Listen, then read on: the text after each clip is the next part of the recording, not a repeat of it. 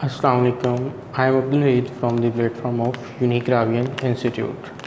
Dear student of class 9th, आज हम chapter number two discuss करने जा रहे हैं that is structure of atom आज के टॉपिक में हम इंट्रोडक्शन को डिस्कस करेंगे और इसके साथ साथ डिस्कवरी ऑफ़ इलेक्ट्रॉन सबसे पहले नंबर पे अगर हम वर्ड एटम को डिस्कस करते हैं तो एटम जो वर्ड है, वो ड्राइव किया गया है एक लैटिन वर्ड एटोमोस से which means indivisible that is an M C Q atomos जो है, वो लैटिन वर्ड है इंडिविजिबल जिसका मतलब होगा।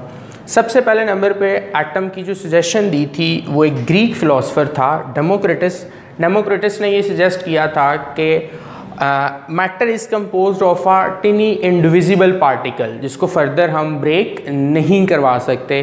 बट लेटर ऑन इसकी ब्रेकेज पॉसिबल थी। स्ट्रक्चर भी हमने डिस्कस करना है। इसी चैप्टर में और डिफरेंट फंडामेंटल पार्टिकल्स को भी डिस्कस करना है, जो कि थ्री फंडामेंटल पार्टिकल्स होंगे इसके। Atom compose on actually three fundamental particles electron proton and neutron electron negatively charge proton positively charged while neutron has no charge.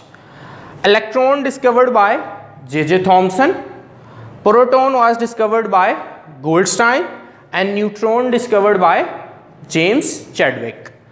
Electron की डिस्कवरी 1897 में हुई प्रोटॉन 1886 में डिस्कवर हुआ और न्यूट्रॉन एक लॉन्ग टाइम के गैप के बाद 1932 में डिस्कवर हुआ अगर हम इनके एग्जिस्टेंस की बात करते हैं कि ये एटम में कहाँ कहाँ पे मिलते हैं तो प्रोटॉन और न्यूट्रॉन दोनों न्यूक्लियस के अंदर एग्जिस्ट करते हैं। इन्हें हम कलेक्टिवली न्यूक्लियन भी कहते हैं।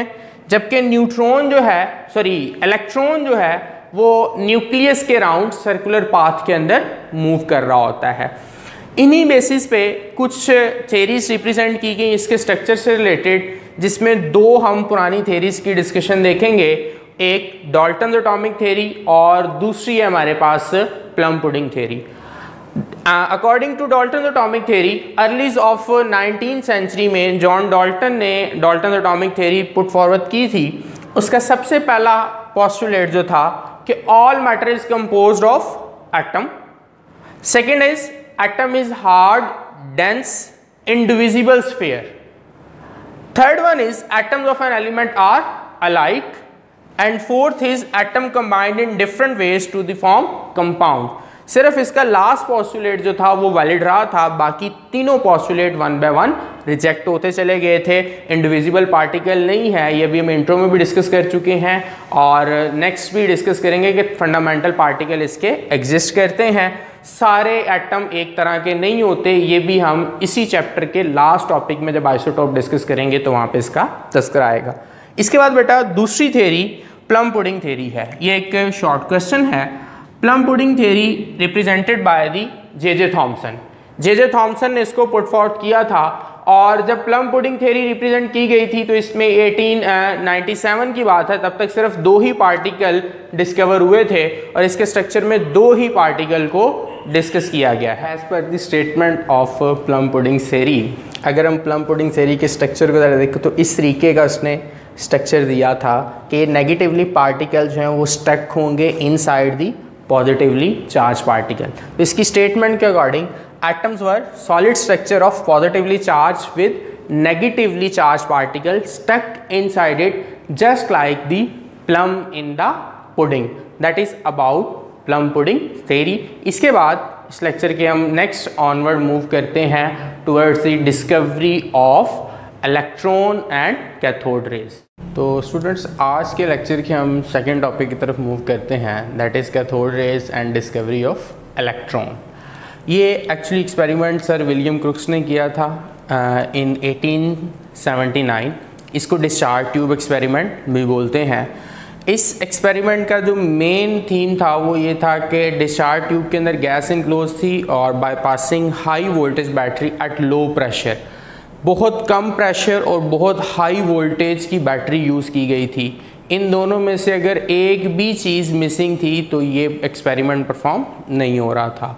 देन इसमें जो टोटली वर्किंग की गई, अगर हम इसके अपरेटस की तरफ़ मूव करते हैं तो बेटा दो मटेलिक इलेक्ट्रोड्स हैं और ये दोनों बैटरी के साथ कनेक्टेड हैं।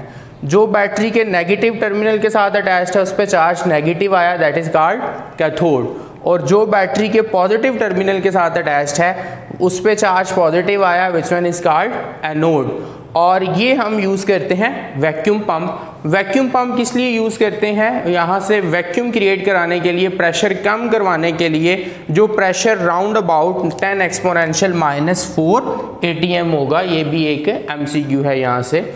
अब जैसे ही वैक्यूम क्रिएट करवाएँगे लो प्रेशर पे गैस होगी और हाई वोल्टेज बैटरी जब पास करवाई जाती है तो ये ऑब्ज़र्व किया गया कि कैथोड से कुछ शाइनी रेज एमिट हो रही थी और ये शाइनी रेज कैथोड से मिट होने के बाद एनोड की तरफ़ मूव कर रही थी, क्योंकि ये रेज कैथोड से मिट हो रही थी, इस वजह से इसे नाम दिया गया था कैथोड रेज इसके बाद स्टूडेंट्स हमने डिस्कस करनी है इनकी प्रॉपर्टीज़ के कैथोड रेज की प्रॉपर्टीज़ क्या है। अब हम बात करते हैं प्रॉपर्टीज़ ऑफ़ कैथोड रेज की। ये एक इंपॉर्टेंट लॉन्ग क्वेश्चन है। जो कि रिपीटिंग टाइम बोर्ड में पूछा हुआ है। इसकी डिफरेंट प्रॉपर्टीज़ में से सबसे पहली प्रॉपर्टी में डायरेक्शन है कि ये किस डायरेक्शन के अंदर ट्रैवल करती हैं।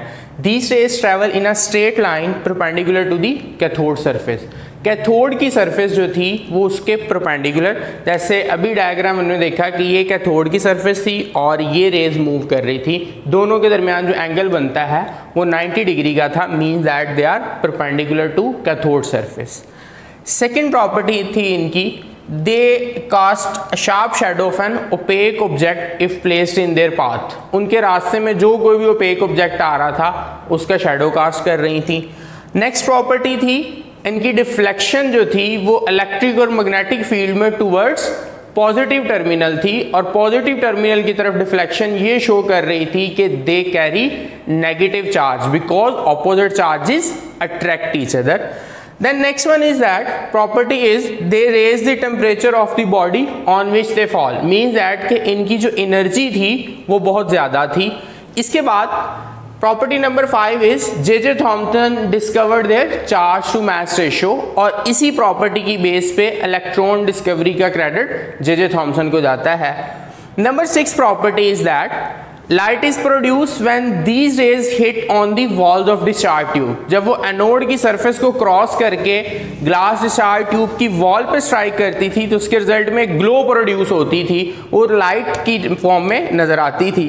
लास्ट वन प्रॉपर्टी कि आप कोई भी गैस यूज़ करते हैं डिस्चार्ज ट्यूब में या कोई भी मेटालिक इलेक्ट्रोड यूज़ करते हैं, उसके रिज़ल्ट में सेम टाइप की रेस प्रोड्यूस हो रही थी और वो ये इंडिकेट कर रही थी कि ये जो पार्टिकल है, जो पहला फंडामेंटल पार्टिकल हम एटम का डिस्कस कर रहे हैं, वो हर तरह के एलिमेंट में एग्जिस्ट करता है और उसकी प्रॉपर्टीज़ सेम होती हैं। बेटा टॉपिक था हमारा cathode rays and discovery of electron अभी तक हमने रेस की बात की तो इलेक्ट्रॉन क्या थे? एक्चुअली बेटा, यही जो पार्टिकल थे, वो इलेक्ट्रॉन थे तो इन्हें रेज इसलिए कह रहे थे कि क्योंकि उस टाइम की डिस्कवरी पे जब कैथोड से मिट हो रही थी चार्ज तो इन पे नेगेटिव था तो रेज इन्हें क्यों कहा गया? क्योंकि इनकी जो स्पीड थी, वो बहुत ज़्यादा थी हाईली स्पीड मूविंग पार्टिकल थे तो एक मटीरियल नेचर का पार्टिकल जब एक बहुत ज़्यादा स्पीड के साथ मूव करता है, तब वो जस्ट लाइक बिहेव कर रहा होता है कि इस तरीके से नज़र आता है कि वो एक रे है बट ये रेस नहीं थी, ये क्या थे? इलेक्ट्रॉन थे नेगेटिवली चार्ज मटीरियल पार्टिकल थे दैट्स अबाउट टूडेज लेक्चर